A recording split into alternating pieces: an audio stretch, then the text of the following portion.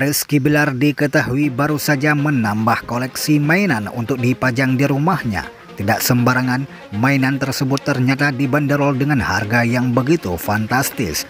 Pesinetron tampan ini membeli sebuah action figure Naruto Uchita Itachi Susano skala 1 per 8 dengan bahan utama resin Gaka. Jirai Kit atau kit resin memang biasa dipakai untuk membuat action figure anime. Bahkan ini bisa menghasilkan produk yang kuat, awet, dan memiliki ketahanan tinggi.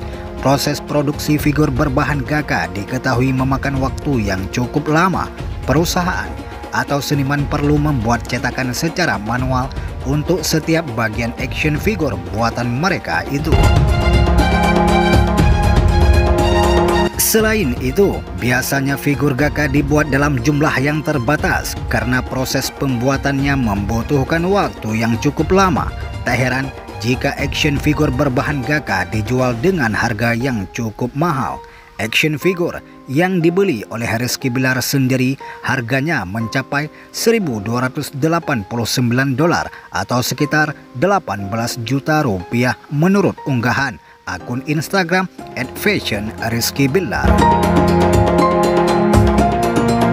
Hal ini jelas mengejutkan warganet di media sosial. Mereka seolah tidak habis pikir calon suami Lesti Kejora itu bisa menghabiskan belasan juta hanya untuk satu koleksi mainan. Hmm, mainan gini aja 18 juta. Masya Allah, celutuk seorang warganet. Ya Tuhan, ini mainan apa? Aku lihat harganya aja nangis, ujar warganet yang lain.